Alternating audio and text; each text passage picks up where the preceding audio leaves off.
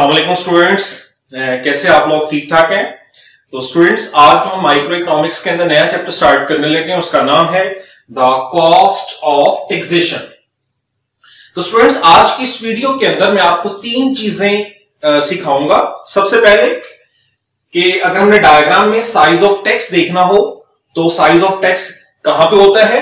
कैसे मालूम किया जाता है? ये देखेंगे।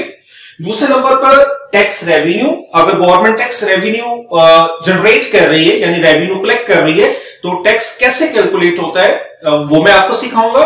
और तीसरे नंबर पर स्टूडेंट जो सबसे इंपॉर्टेंट चीज़ है वो ये है कि जब गवर्नमेंट टैक्स इंपोज कर देती है चीज़ों के ऊपर तो वो कंज्यूमर सरप्लस पे क्या अफेक्ट करती है?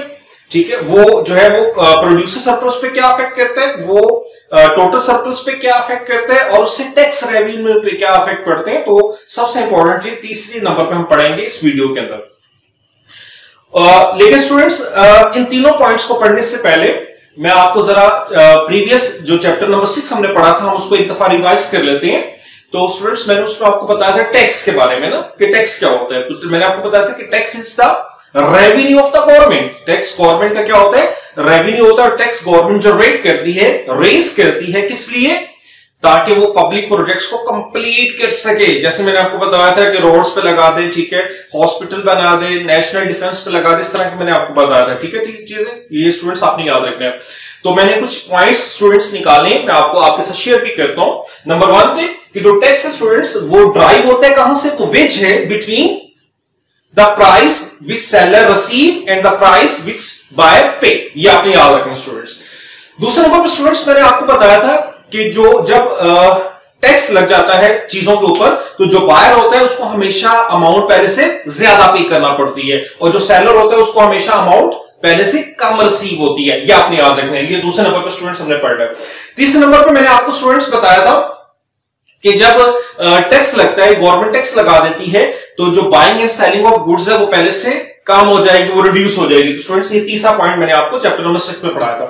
और चौथे नंबर पर जो स्टूडेंट्स मैंने पॉइंट पढ़ाया था, वो सबसे इंपॉर्टेंट वो ये था कि चाहे टैक्स सेलर पे लगे या बायर पे लगे, दोनों सूरतों में जो अफेक्ट है, वो एक जैसा ही होगा। ये सबसे इंपॉर्टेंट चीज़ है, ये आपने याद रखना है, ये भूलना नहीं है। मैंने क्या बताया है कि अगर टैक्स सेलर पे लगे या बायर पे लगे, सिर्फ़ दोनों सूरतों में क्या होगा? कि अगर सेलर पे लगता है तो हमारा जो सप्लाई कर्व है, वो शिफ्ट कर देता है, ठीक है लेफ़्ट साइड पर यह आपने याद रखना है। और अगर बायर पे लगता है तो हमारा जो डिमांड कर रहे हो, वो शिफ्ट कर जाता है लेफ़्ट साइड पर। लेकिन दोनों सूरतों पे एट द एंड जो अफेक्ट होते हैं, वो एक जैसे ही होते हैं। तो इस चैप्टर में हमने कोई ऐसी डिस्टेंशन नहीं करनी है, याद रखना है। तो चाहे हम दोनों से जिसके ऊपर मर्ज़ी टैक्स लगा दे, उसकी जो डायग्राम्स है, उसके जो अफेक्ट्स हैं, वो एक जैसे होंगे। तो स्टूडेंट्स ये मैंने आपको थोड़ा सा रिवाइज करवा दिया। अब हम आज के टॉपिक की तरफ़ चलते हैं, जिसमें मैंने आपको कहा था कि मैं आपको तीन चीज़ें सिखाऊँगा आज। तो आज सबसे पहले हम देखते हैं डायग्राम के अंदर साइज़ ऑफ़ टैक्स कैसे कैलकुलेट करें। अब स्टूडेंट्स मैं आपको इस चैप्टर का मैं पहला पॉइंट आपको सिखाता हूँ कि अगर हमने डायग्राम में देखना हो कि हमने साइज़ ऑफ़ टैक्स जो है वो कहाँ पे है? तो मैं आपको एक डायग्राम से साइज़ ऑफ़ टैक्स कैलकुलेट करना सिखाता हूँ स्टूडेंट्स मैं आपको स्टेप बाय स्टेप स्टूडेंट्स आगे लेके जाऊँगा ताकि आपको चीज़ों को सीखना और पढ़ना आसान हो जाए. तो स्टूडेंट्स सबसे पहले हम एक डायग्राम में दो एक्सिस बना लेते हैं. ये ओरिजिन एक्स एक्सिस पे हमारे पास क्या होती है? क्वांटिटी और वाई एक्सिस पे हमारे पास क्या होती है? प्राइस ठीक है स्टूडेंट्स अब हम क्या करते हैं? कि विदाउट टैक्स यानी टैक्स से पहले एक जनरल इक्विलिब्रियम बना लेते हैं और हमें पता है कि इक्विलिब्रियम कहाँ पे होता है, जहाँ पे डिमांड और सप्लाई इंटरसेक्ट करती है। तो हम सबसे पहले एक इक्विलिब्रियम बनाते हैं। तो डिमांड कैसे बनती है स्टूडेंट्स अब आपको पता है एक नेगेटिव स्लॉप के अंदर, ठीक है? डिमांड कर्व आ गया, एक पॉजिटिव स्लॉप में हमारे पास सप्लाई कर्व आ गया। दोनों स्टूडेंट्स अगर आप देखें तो एक जगह पे कट कर रहे हैं। जहाँ पे स्टूडेंट्स ये कट कर रहे हैं, उस जगह पे इक्विलिब्रियम हो गया। वहाँ से हमें दो चीज़ें मिल जाती हैं। कौन कौन से स्टूडेंट्स एक इक्विलिब्रियम प्राइस और दूसरे नंबर पर इक्विलिब्रियम क्वांटिटी अब स्टूडेंट्स ये वो प्राइस है जो विदाउट टैक्स है, ये आपने याद रखना है। यानी ये वो प्राइस है जो विदाउट टैक्स है। अभी टैक्स अप्लाई नहीं हुआ, ठीक है? और ये कौन सा क्वांटिटी है? ये स्टूडेंट्स आपने याद रखना है क्वांटिटी विदाउट टैक्स और आपको ये भी पता है स्टूडेंट्स के जहाँ पर डिमांड और सप्लाई इंटरसेक्ट करती है, ये वो पॉइंट होता है जहाँ पर बायर और सेलर मैक्सिमम बेनिफिट ऑप्टेन कर रहे होते हैं। ठीक है स्टूडेंट्स ये अब आपको चीज़ें क्लियर होनी चाहिए। अब स्टूडेंट्स जारी बात है, जब टैक्स लगेगा तो हमने तो पिछले चैप्टर में पढ़ा था कि जब टैक्स लगता है तो वो प्रोड्यूसर पे भी लग सकता है और कंज्यूमर पे भी लग सकता है। तो लेकिन मैंने जो सबसे इंपॉर्टेंट बात ये बताई थी कि चाहे टैक्स प्रोड्यूसर पे लगे या कंज्यूमर पे लगे दोनों के कर्व में तो डिफरेंट शिफ्टिंग होगी, लेकिन जो एट द एंड इफ़ेक्ट है वो एक जैसा होगा। इसलिए हम अज्यूम कर लेते हैं कि जो गवर्नमेंट है वो टैक्स सेलर के ऊपर लगा देती है। अगर गवर्नमेंट स्टूडेंट्स टैक्स सेलर के ऊपर लगा देती है तो मुझे बताएँ कौन सा कर्व शिफ्ट करेगा? कौन सा करेगा? सप्लाई कर्व ठीक है? और सप्लाई कर्व किस साइड पे शिफ्ट करेगा? लेफ़्ट साइड पर क्यों? मैंने आपको बताया था।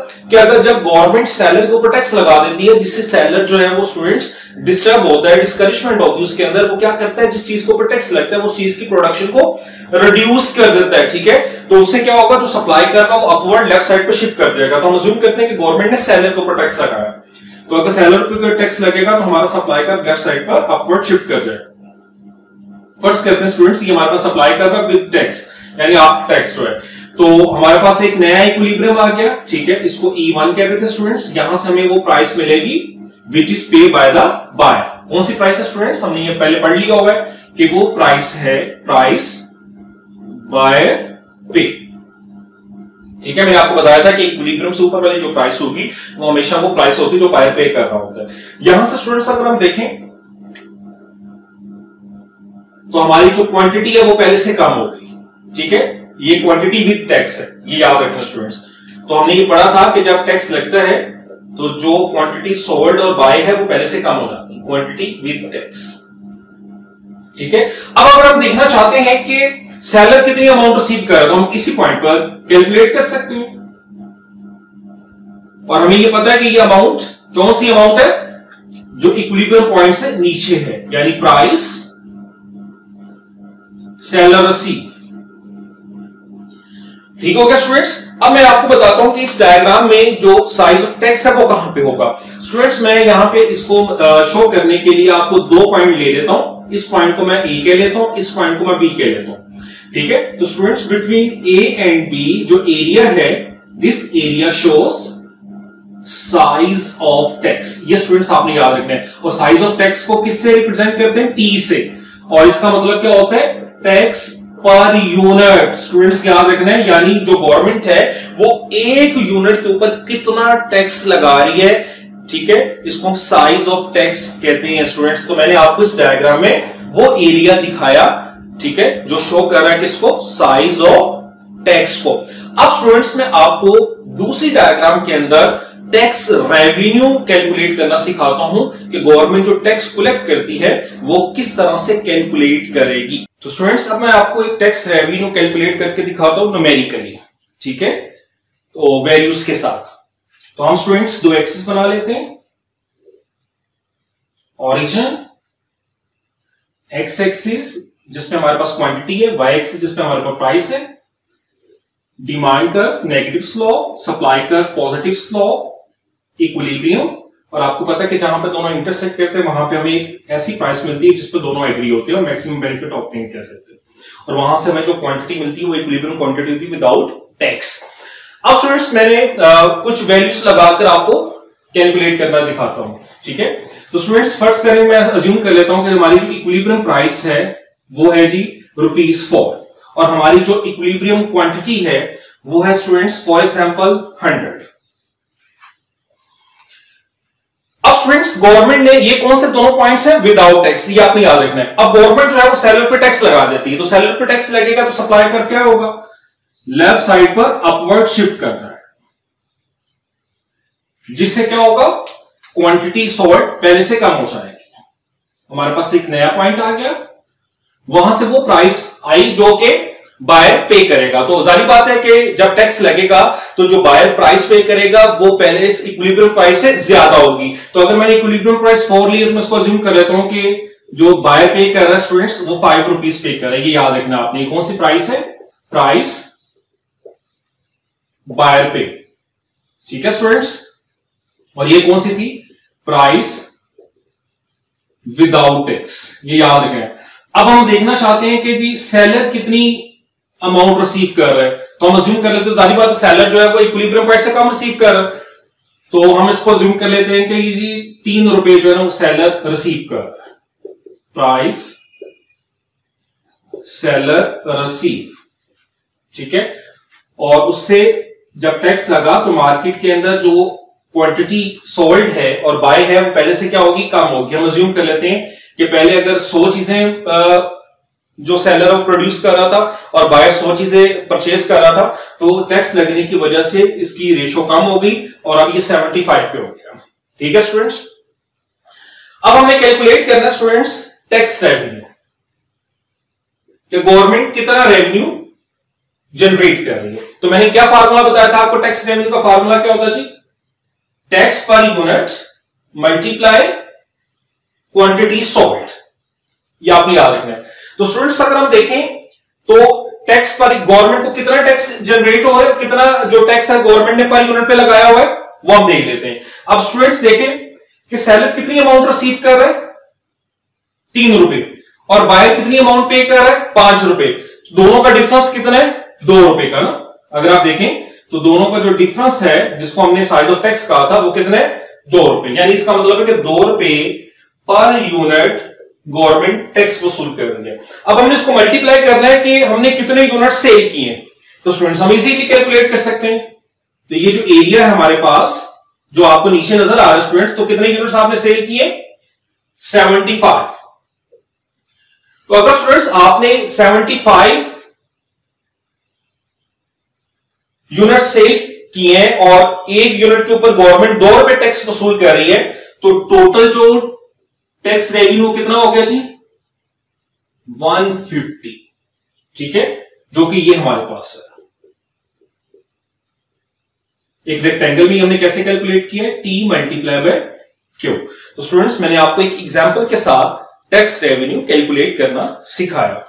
अब स्टूडेंट्स इस चैप्टर में जो सबसे इंपॉर्टेंट चीज़ है, जो हमारा तीसरा पॉइंट है कि जब टैक्स लगता है तो उससे कंज्यूमर सरप्लस पर या प्रोड्यूसर सरप्लस पर या टोटल सरप्लस पर क्या अफेक्ट पड़ते हैं? अब मैं आपको वो कैलकुलेट करके दिखाता हूँ। पहले डायग्राम में मैं आपको बना के दिखाऊँगा, फिर मैं उसको विदाउट टैक्स और विद टैक्स आपको कैलकुलेट करके उनका डिफरेंस दिखा स्टूडेंट्स अब हम इस चैप्टर का जो सबसे इंपॉर्टेंट टॉपिक है, वो पढ़ने लगे और वो है कि जब गवर्नमेंट टैक्स इंपोज करती है तो उससे कंज्यूमर सरप्लस के ऊपर प्रोड्यूसर सरप्लस के ऊपर और टोटल सरप्लस पे क्या अफेक्ट पड़ता है, अब वो मैं आपको विदाउट टैक्स और विद टैक्स कैलकुलेट करके दिखाता हूँ। तो उसको कैलकुलेट करने से पहले स्टूडेंट्स हम एक डायग्राम बना लेते हैं।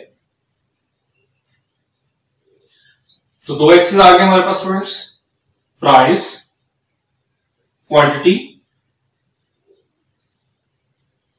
demand curve negative slope supply curve positive slope दोनों जहाँ पे इंटरसेक्ट कर रहे हैं, वहाँ से हमें दो चीज़ें मिलेंगी students equilibrium price without tax equilibrium quantity without tax अभी तक टैक्स इंपोज नहीं है। तो स्टूडेंट्स अज्यूम करते हैं कि जो गवर्नमेंट है, वो टैक्स लगा देती है सैलरी के ऊपर। जब गवर्नमेंट सैलरी के ऊपर टैक्स लगाएगी स्टूडेंट्स तो हमारा जो सप्लाई कर्व है, वो अपवर्ड लेफ़्ट साइड पर शिफ्ट कर जाता है। अब यहाँ से हम स्टूडेंट्स कैलकुलेट कर सकते हैं the price which buyer pay price buyer pay क्योंकि हमें पता है कि जो इक्विलिब्रियम प्राइस से ऊपर होगी, वो वो प्राइस होगी जो बायर पे कर रहा है। ठीक है स्टूडेंट्स यहाँ से हम वो प्राइस भी कैलकुलेट कर सकते हैं जो कि सेलर रिसीव कर अब हम स्टूडेंट्स काफ़ी दफ़ा पढ़ चुके हैं।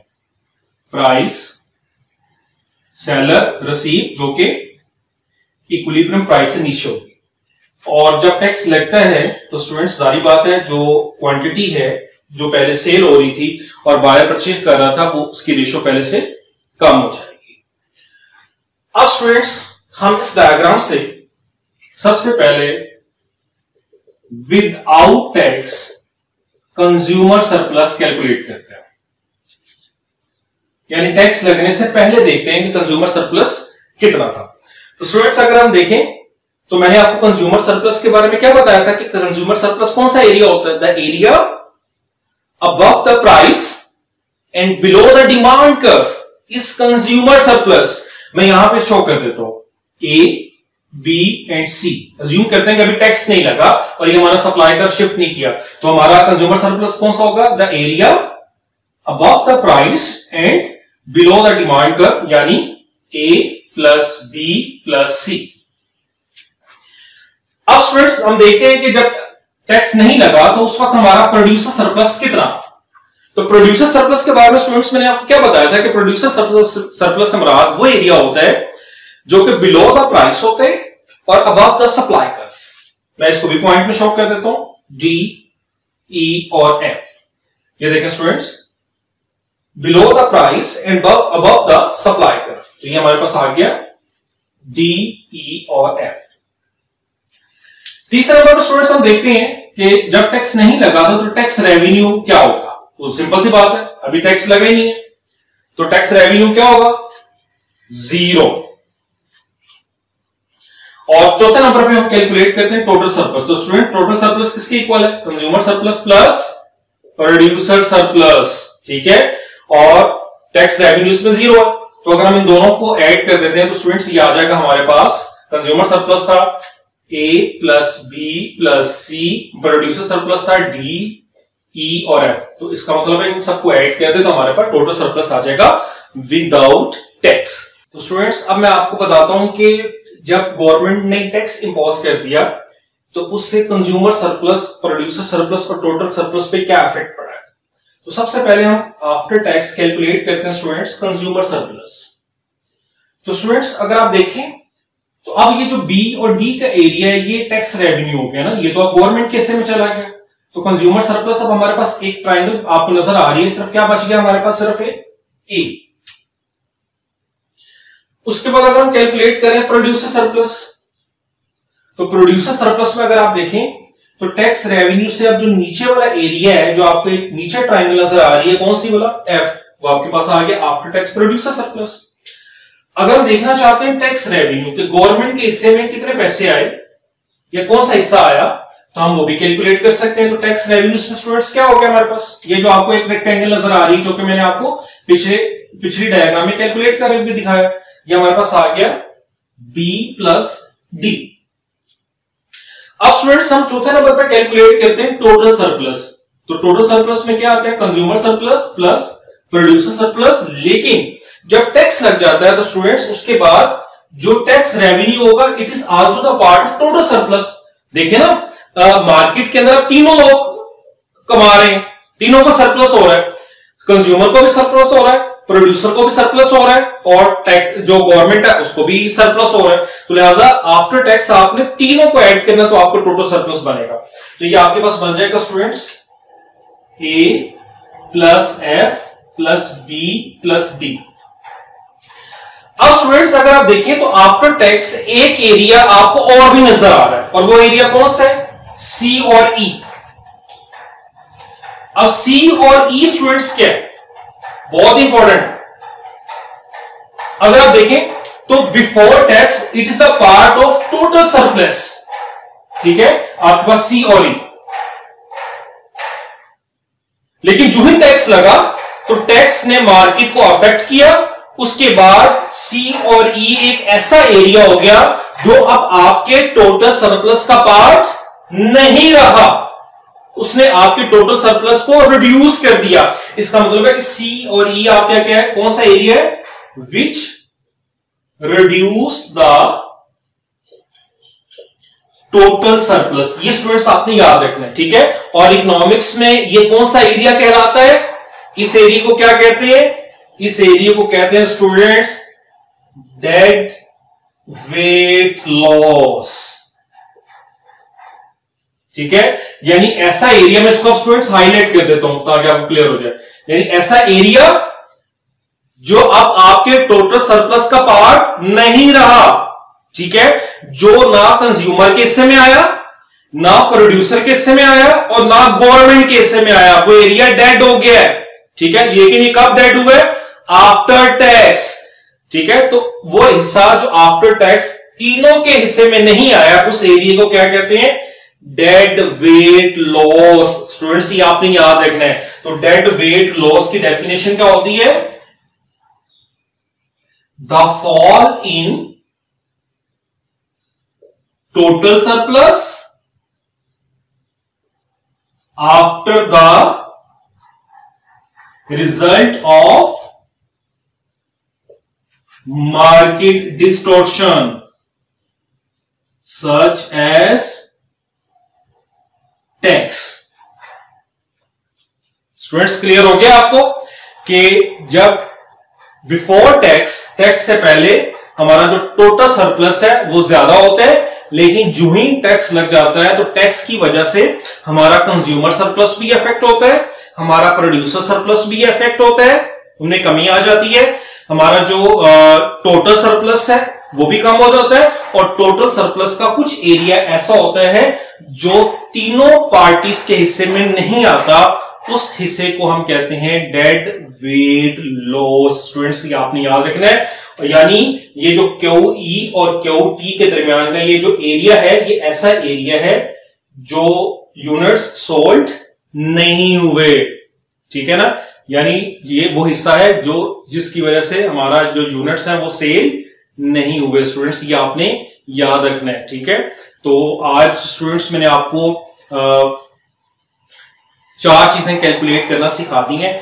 एक मैंने आपको बताया है कि अगर हमें साइज़ ऑफ़ टैक्स देखना हो तो वो कहाँ पे होता है डायग्राम में?